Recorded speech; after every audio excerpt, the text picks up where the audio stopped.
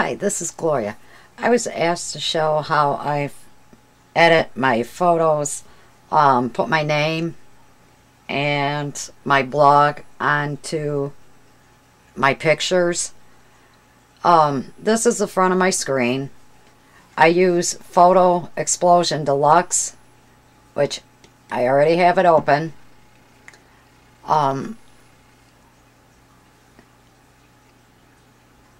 you click on Get Photo, and then you click on My Computer.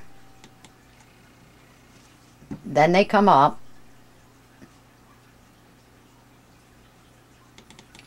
I will do one.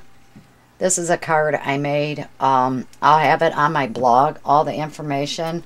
It was a card swap over at the Creative Soup for the Soul is what I did this card for. And then you click on Edit. There's a button right under Edit. It says Adjust.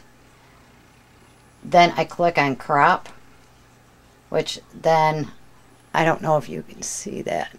There's like a square with some dots and then I just put it around the card so that the card fits inside the box. Then, let me move it now. There's a button at the bottom, right down here. It says apply, which then brings it in more. And bring it back up. so you can see everything. Tilt it down a little bit. Oh, no, I don't want to do that. Okay, then underneath share, there's also a um, button that says text. Click on that. Then I click on add and edit. I normally do black or white here, which that's the color of your text. Then I type my name.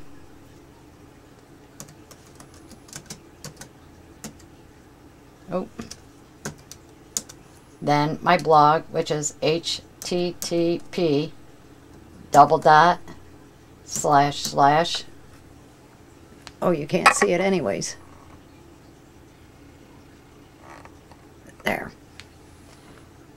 Um, crafter gm dot blog spot dot com then let me move it again at the bottom there's a button that says apply this then you will see it I put it back to the card now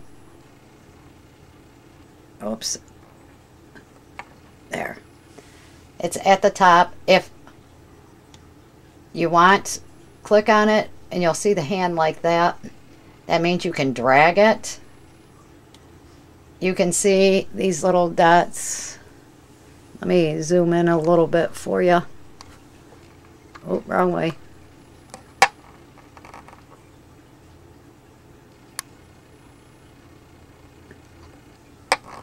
Okay. Now, um, you can see in the corners and right in the middle there's a dot you can push it in to make it a little smaller then in the center there's a couple more dots. You can also push it up which then shapes it more uniform and a little bit smaller. And that's all there is to it. And then you just exit out, save the changes, yes. Uh, the selected file um, is supported and everything will be merged. You click yes and that's it. And then you just start all over with the next set of um, pictures that you want to do and put any of that on. Well, I hope that helps. If you have any other questions, feel free to ask. You can leave them down below or PM me and I will get back with you. So thank you for watching. Have a good night. Bye.